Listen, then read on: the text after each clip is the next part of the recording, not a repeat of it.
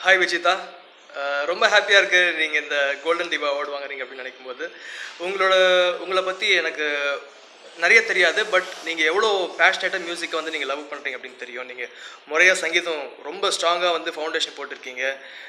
நிறைய சாங்ஸ் பாடிருக்கீங்க நிறைய ஷோஸ்லேயும் வந்து பாடிருக்கீங்க உங்களை பற்றி நிறைய பேர் ரொம்ப பெருமையாக சொல்லுவாங்க. விஜிதா வந்து ரொம்ப அழகாக பாடும் அப்படின்னு சொல்லி நான் ஒரு சில சாங்ஸ் கேட்டிருக்கேன் உங்களது சில ஷோஸ் பார்த்துருக்கேன்.